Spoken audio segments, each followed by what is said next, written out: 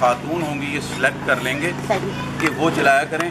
और अपना जो भी है वो पैसे लेके काम किया करें लेकिन मोहल्ले में एक चीज़ हो जो मेकअप शेकअप से रिलेटेड है उसके पैसे लें बाकी वो फ्री करें। ये भी बड़ी सहूलत है और हम क्लिनिक के बाहर भी एक बॉक्स लगाएँगे चंदे का जिसमें वो कोई भी बंदा मोहल्ले का पूरे इलाके का हमें तो तोफीक पैसे डाले जिससे दवाइयाँ ले सके। क्लिनिक हम चेकअप फ्री के लिए डॉक्टर को और जगह को हम देंगे ताकि जिसकी कोई भी बीमारी हो उसको बता सके दवाई लिख के दे सके। दवाइयाँ खुद लेनी पड़ेंगी लेकिन जो चंदे बॉक्स के अंदर जिस जिसके पैसे हम भी डाल जाया करेंगे कोई भी। वो चंदे बॉक्स वालों का। कोई भी बंदा पचास सौ डाल देगा जितना डालेगा तो जिसके पास नहीं होगा तो वो दवाइयाँ भी रखना शुरू कर देंगे।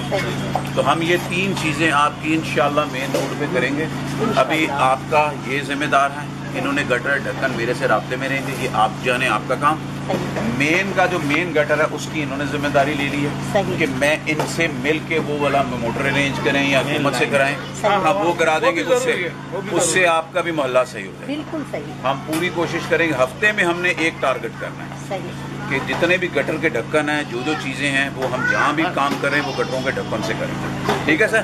ठीक है सर। ठीक है मैम अब आपकी मोटरें आप मशीनें आ देंगी बाकी ये मेरे से इन गटरों की सफ़ाई के लिए रबते में और आप दोनों आपस में कोऑर्डिनेट करते इंशाल्लाह ठीक है जी?